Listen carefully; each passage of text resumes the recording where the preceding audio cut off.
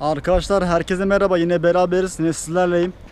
Aslında bu video yapma istemezdim ama şu boş konuşan tayfa hani her konu hakkında bir bilgisi olduğunu düşünen tayfa hakkında bir açıklama yapmayı istiyorum. Belki onlar bu konuyu daha iyi anlarlar.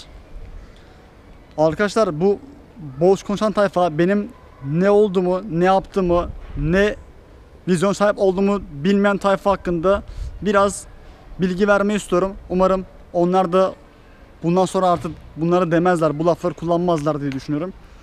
Arkadaşlar bu tayfa eee, yani ben bu yorumları daha öncesinde gördüm. Hani alt kısımlarda, yorum kısımlarında, başka forumlarda eee, bunu fark ettim, bunu gördüm.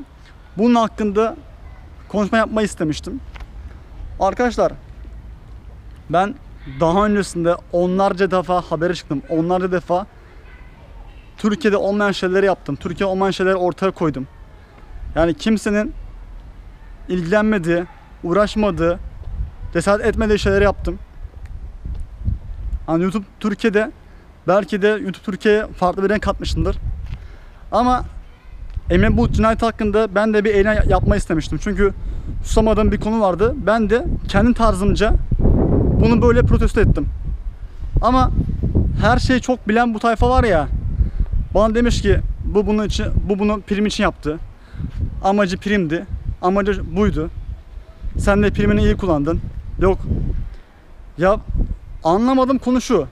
Benim böyle bir şeye ihtiyacım var mı ki ya? Hani birinci sorun bu yani. Benim böyle bir şeye ihtiyacım var mı ki yani? Bunu bir düşünün ya. Hani bu adam bu kadar şey yapmış, bu kadar medyaya yansımış, bu kadar medyanın içinde hani dünyaya bile haber olmuş bu adam. Bu adamın böyle bir şeye ihtiyacı var mı ki?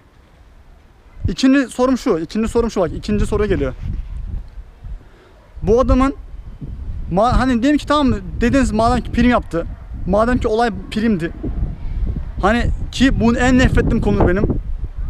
Madem ki prim bu.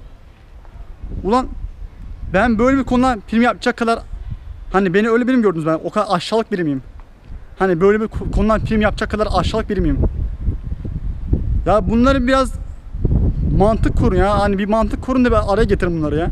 Ha bu kadar düşüncesiz ve katı olmayın ya bu konular hakkında. Ha benim böyle bir şeye ihtiyacım var mı ki siz- sizce ya? Ya o kadar medyaya yansımışım, o kadar medyada olmayan şeyleri vermişim.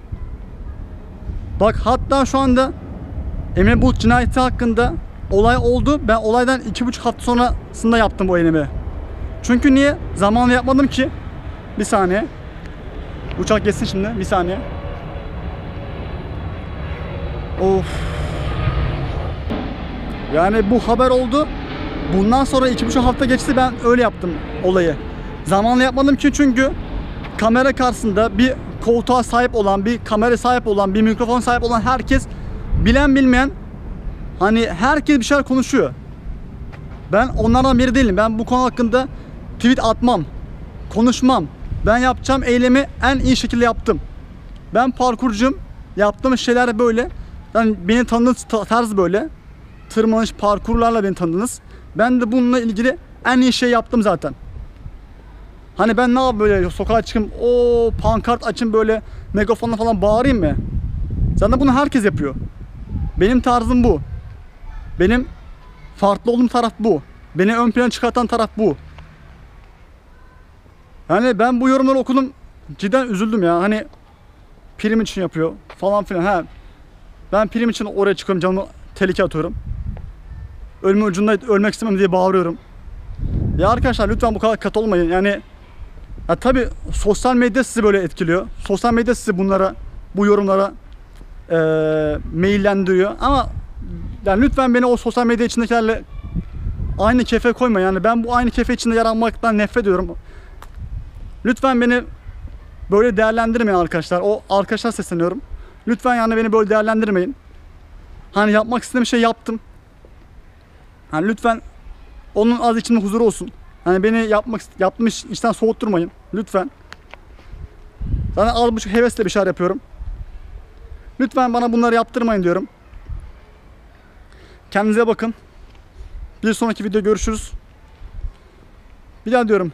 Bu videoyu yapmayı istemezdim ama o arkadaşlar hakkında diyeceğim şeyler vardı. O yüzden yaptım.